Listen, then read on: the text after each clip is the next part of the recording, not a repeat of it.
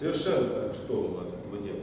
Представьте себе, что у вас есть n человек. Каждый из них загадал число от нуля, скажем, до n минус 1. Вот каждый загадал число. А потом эти люди разошлись по комнатам. Соответственно, тому числу, кто они загадали. Спрашивается, какова вероятность, что два конкретных человека, К1 и К2, это их номера, не те, кто они загадали, номера как людей из этой серии. Какова вероятность, что они окажутся в одной комнате?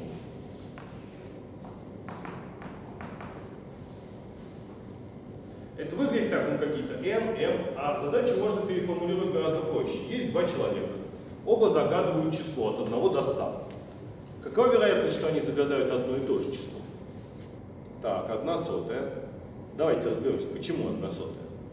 Ну, два способа есть это объяснить. Первый способ такой, ну, два числа загадывает, сколько всего вариантов, какие исходы. Это пара чисел. Сколько всего пар чисел от 1 до 100? 100 в квадрате. 100 в квадрате. Что значит, что они загадали одно и то же? Значит, это пара, у которых первая и вторая компонента совпадают. Таких сколько пар? 100. 100 разделить на 100 в квадрате получается 1 сотая. На то же самое можно посмотреть немножко иначе. А именно, что загадывает на самом деле один человек, вы-то уже загадали. Если он пытается просто отгадать ваше число, то тогда ему надо отгадать одно число из 100. Получится тоже 1 сотая. Ну а соответственно здесь какой будет ответ? Какова вероятность, что они загадали одно и то же число? Если они загадывают уже не от 1 до 100, а из m чисел. 1 m. Теперь, знаете, вот это ну, кажется какая-то относительно искусственная ситуация, но она имеет отношение к задаче о том, как хранить данные в компьютере. Так, чтобы было удобно. Ну и в принципе не только в компьютере, а дома, в библиотеке, где угодно. Ну, вредно все хранить как на складе. Заложили штабелями, и потом, чтобы что-то найти, надо все перерыть. Обычно всегда все раскладывается как? По каким-то сегментам, да, по каким-то ячейкам. Вот, так сказать, как проще искать. Знаешь, что нужно знать, чтобы искать, когда все разложено по полочкам. Вот, например, в этой задаче я хочу найти человека. Что мне надо знать, чтобы его найти? Число, которое он загадал. То есть мне надо знать функцию там найти. Надо знать функцию h из, ну вот скажем, мы людей тоже нумеровали от 0 до n минус 1 в множество от 0 до n минус 1. Эта функция по номеру k выдает номер комнаты, то есть то число, которое человек загадал. Правильно? Дальше я смотрю на этот номер комнаты, иду в эту комнату и там ищу этого человека. Что важно при таком действии? Чтобы вот поиск был максимально простым. Что важно? Что бывает плохого? Плохо, если, несмотря на все ваши старания, они загадали одно и то же число. Тогда вы, получается, их пытались распределить по комнатам, а они зачем-то сели в одну. Правда? Но вероятность, что они загадывают одно и то же число, она одна n.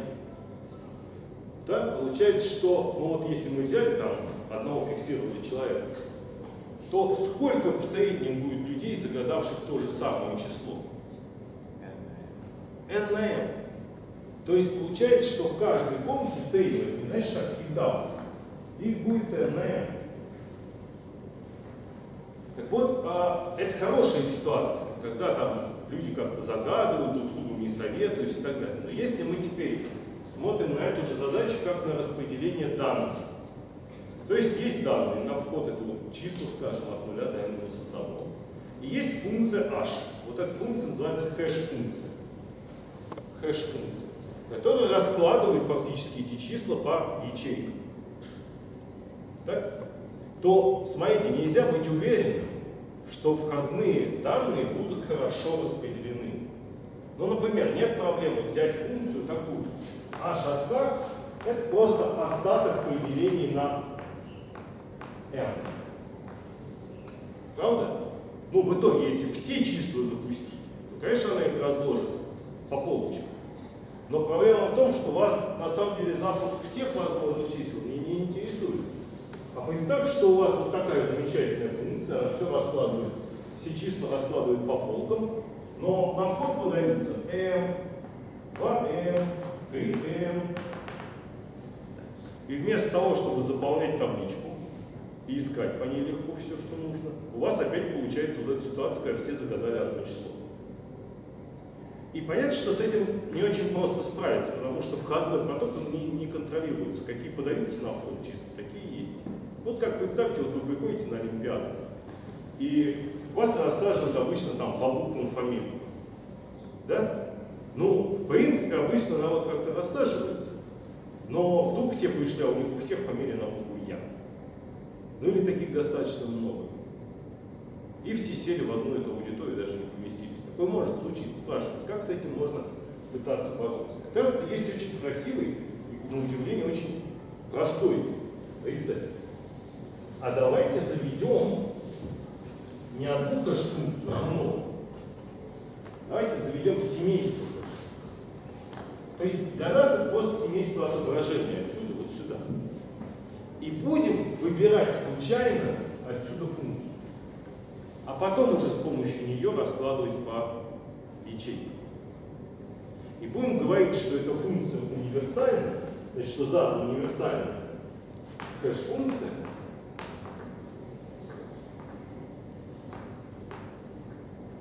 Если задано следующее, если вероятность, что h от k1 равно h от k2 не превосходит 1m. То есть, что это похоже ну, для любых k1 и k2. Значит, что, что это похоже на загадывание чисел. Но только теперь, смотрите, вот это на самом деле замечательная мысль, что не надо требовать, чтобы люди загадывали числа. Давайте будем выбирать функцию случайно. Ну, кажется, это, наверное, очень сложная задача. Как так функцию научиться? Как завести семейство функций, чтобы их выбирать случайно? Поразительным образом это делается элементарно. Смотрите, тут даже формулу можно написать. Вот давайте прям пример такого семейства и попробуем понять, как значит, это происходит. Есть вот заведем два параметра а Значит, а прежде чем называть два параметра, сделаем следующую штуку. Возьмем простое число больше n. n это вот, дайте n большое. Больше n большого. Это простое число. И возьмем два числа. Значит, а у нас будет от единицы до p минус 1. b будет от нуля до p минус 1. И проделаем такую штуку. Значит, для каждого из этих параметров у нас будет функция. Это просто, что я беру функцию, которая задана А и Б. Сейчас вы увидите как. Которая действует по такому правилу. Значит, она берет АК плюс Б. Значит, я напишу, а вы скажете, понятно это запись? По модулю ПК.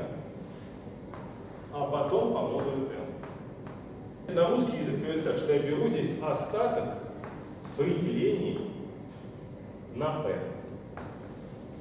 А потом у того, что получилось, беру остаток при делении на m. Понятно, да? То есть я беру то число k, которое на входе. Ну, там вот науки принято называть ключом. То есть беру это число k. Делаю с ним вот такое преобразование линейное. Да, умножаю на a и добавляю p. Потом беру остаток при делении на p. А у того, что получилось, беру остаток при делении на m. Фактически делается следующее. Да, эти k, они идут как угодно, но мы их дополнительно перемешиваем. Вот это преобразование, это такое дополнительное перемешивание этих номеров. Где здесь выбор? Значит, как будет происходить случайный выбор? Значит, мы заведем табличку. Здесь у нас будет А, здесь Б. И в табличке, собственно, пары чисел. Вот мы будем случайно вынимать отсюда А и Б и использовать такую функцию. Давайте проверим, что для этой функции выполнено вот это неравенство. Попробуем оценить вероятность того, что значит, что два элемента К1, К2 попадут в одну комнату. Ну, это вот называется коллизия. Значит, вот а, давайте попробуем это сделать. Как связано М и П? Ну, у нас М и П практически никак не связаны. У нас есть М и N, они даны. У нас данные бывают не больше, чем N, мы раскладываем их по N комнатам. Вот и все. Это числа, которые задаются. Теперь P это просто простое число больше N. Больше ничего не происходит. Вы, грубо говоря, просто из всех таких преобразований, на самом деле, вот представьте, что вы просто вот никакой А и Б здесь не брали. Допустим, А единичка, Б ноль. То вы с этим К вообще ничего не сделали. Это понятно? То есть, смотрите, потому что К это число от единицы до, от нуля до n минус 1. Значит, если вы возьмете в качестве А единичку, а Б 0, то ну, какой остаток?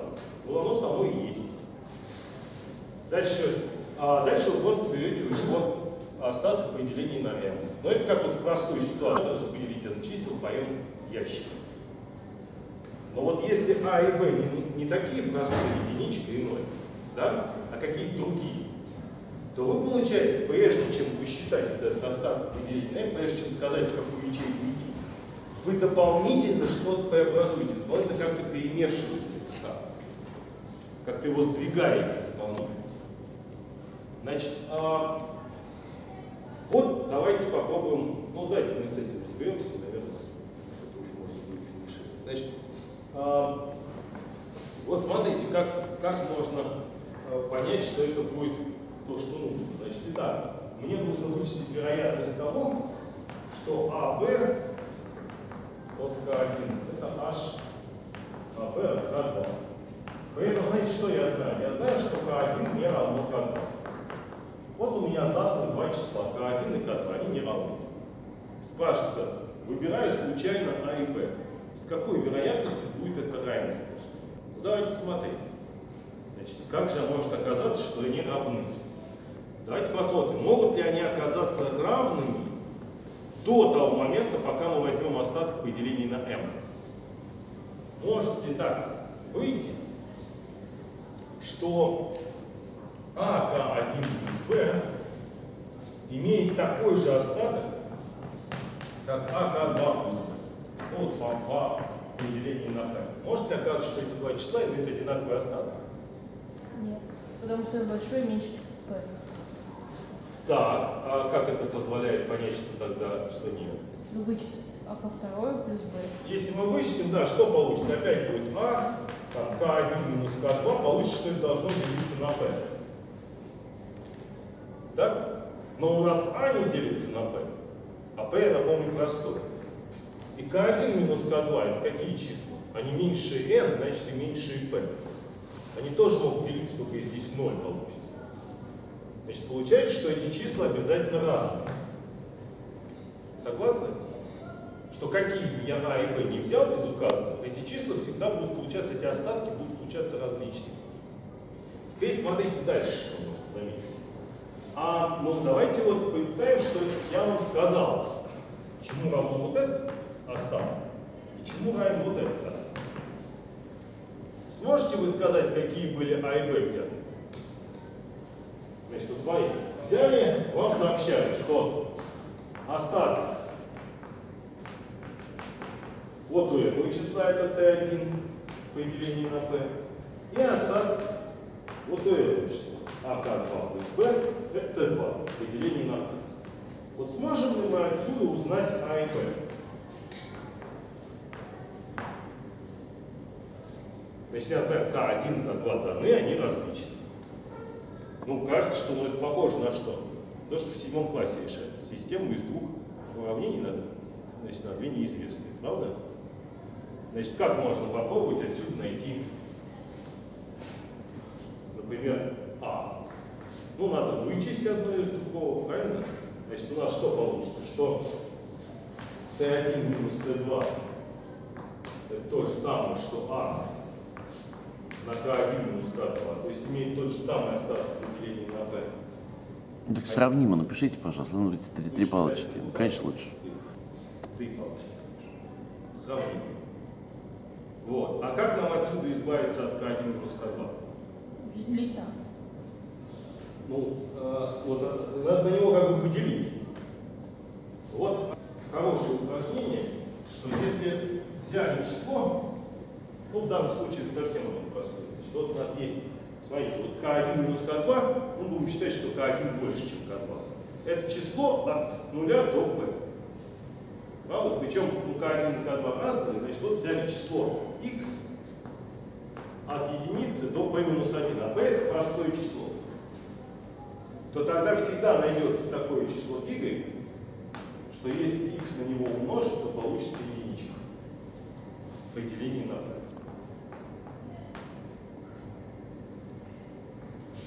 Значит, если я такое число возьму и умножу это равенство на это число y, то смотрите, что у меня получится. Будет в качестве x возьму k1 минус k2, будет y на t1 плюс t2, это будет то же самое, что а. Вот я нашел А. Но если я нашел А, то уже нет проблем найти Б, правда? Подставляем сюда, вычитаем находим Б.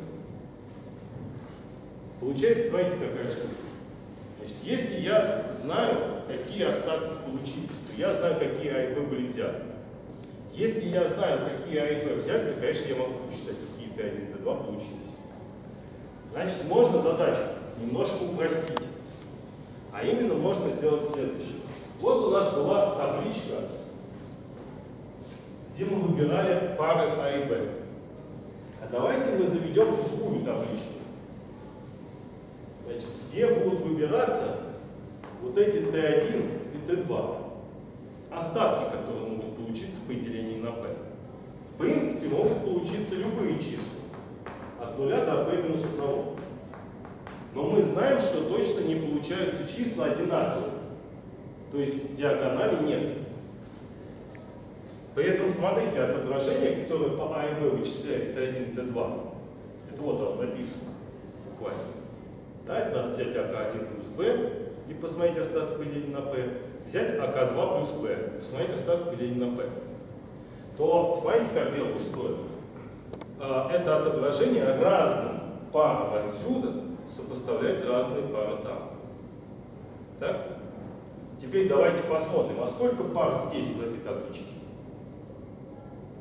Сколько здесь всего элементов? Смотрите, b меняется от 0 до p минус 1, а а меняется от единицы до p минус 1. Вверху получается p, p на p минус 1. А сколько здесь элементов в этой табличке? P квадрат минус P. Ну, надо взять все и вычесть p. То есть тоже p на p минус 1. Значит, на самом деле, вот это отображение отсюда сюда, это взаимно однозначное отображение.